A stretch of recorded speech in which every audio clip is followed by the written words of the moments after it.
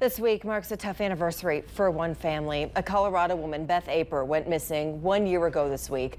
Her family is talking with us today, saying she was last known to be living on a ranch with her husband near Yoder. 11 News reporter Melissa Henry has been speaking with her family. She's live from the El Paso County Sheriff's Office. And Melissa, the last update from officials there was that Beth Aper is considered a missing person. Adam, officials here at the sheriff's office say they plan to give an official update on this case on Friday. That marks one year exactly since the last time Beth Aper's family heard from her. This now is video of the property where family tells us Beth Aper was last known to be living.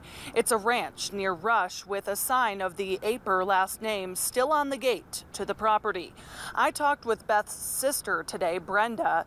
She says her sister always kept in touch with family and regularly posted on social media.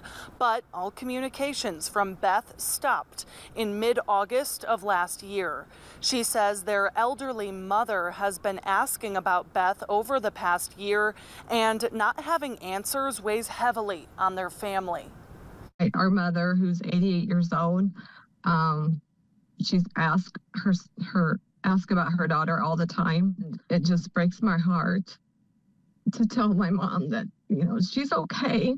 She's out there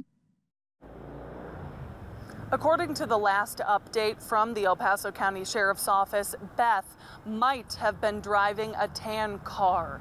If you know anything about this case or where Beth Aper might be, you can contact the El Paso County Sheriff's Office. Live in Colorado Springs, Melissa Henry, KKTV 11 News. Hopefully someone out there knows something and can help get that family answers. Melissa, thank you. We're also learning more about a case